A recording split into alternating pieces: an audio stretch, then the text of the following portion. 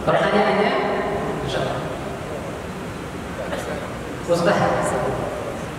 Ustaz, apakah benar? Saya baca. Assalamualaikum warahmatullahi wabarakatuh.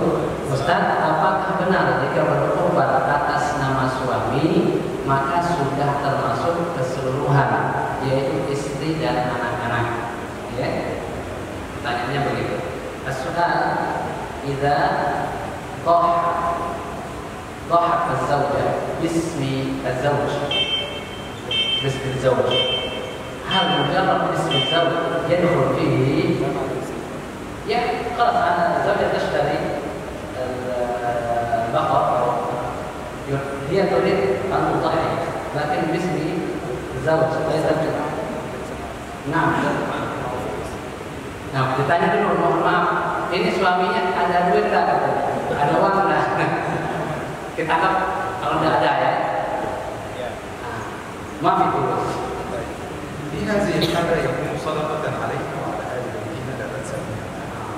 Dalam kondisi seperti ini, maka ini sudah termasuk. Kalau memang suaminya tidak ada duit, ya, tidak ada uang, kemudian berkorban atas nama suami, maka ini bagi istri pertama termasuk sedekah bagi suaminya. Dan anda tidak jadi. وزوجها فقير يجوز لها أن تعطيه من هذه الأضحية.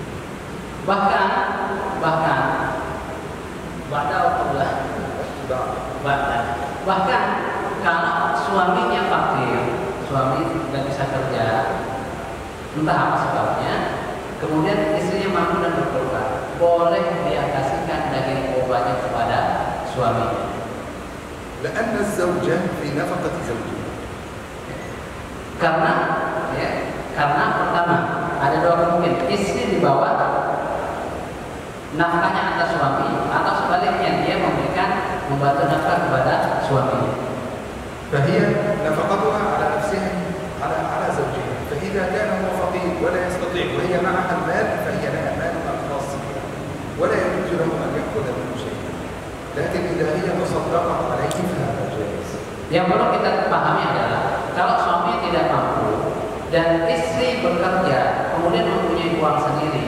niat untuk berkorban tidak boleh bagi suami untuk mengambilnya kecuali atas izin suami. Kenapa? Karena sesungguhnya nafkah itu wajib diberikan oleh suami kepada istri. Tidak bisa karena Kecuali satu. Kalau status bapak rumah tangga dipindahkan kepada istrinya. Kalau bapak rumah tangga diberikan kepada istri, maka yang bertanggung jawab istri yang akan mengatur. وهو في نفقتها Ya, maka suami yang menghidupi istrinya. ya. وبالتالي في هذه الحالة لا يجوز لأنه مثل أي واحد من الأبناء فلا يجوز له الصدقة Tapi ini tidak dibolehkan ya. Jadi bersedekah kepada eh, seperti sedekah kepada anak sendiri. Ya.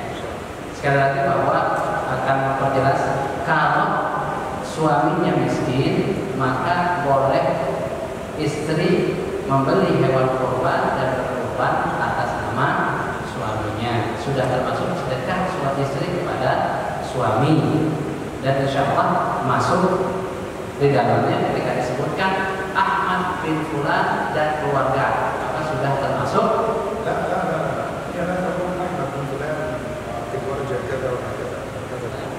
هي تذبح عن الجميع اللهم تقول اللهم إن هذا عني وعن آل بيتي باسمها ليس باسم الزوج هي عنها وعن آل بيتها وزوجها ليس من آل بيتها نعم طيب خلاص لا هي تريد سؤال خلاص يعني لا أنا تريد النية لا تجوز من حي إلى حي Jadi niatnya tetap begini bu katanya. Saya jelaskan, lah lah lah kata Syekh. Bukan begitu.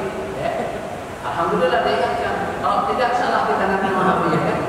Kata beliau, pas motongnya cukup niatnya begini. Ya Allah, terimalah ini dari saya dan suami saya dan anak-anak saya. Ya, jadi jangan atas niat nama suami, tetapi istri karena istri yang membeli, istri yang mampu niat. Ya Allah, terimalah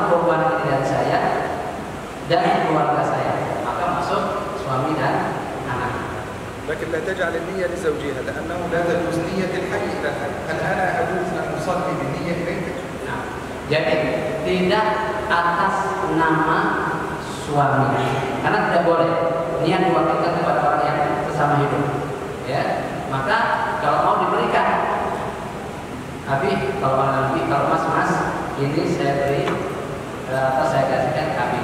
Udah, tidak ada urusan lagi sudah putus ya, karena sudah diberikan. korban. Tapi kalau atas nama suami, ya, sedangkan suaminya hidup, ya, jadi sembelih atas nama dia dan niatkan dan keluar. Maka suami dan anak masuk mendapatkan pahala. Lakin jika kana zawj mayyitan, fa Tapi kalau suami sudah meninggal, boleh baru boleh niat atas nama suami.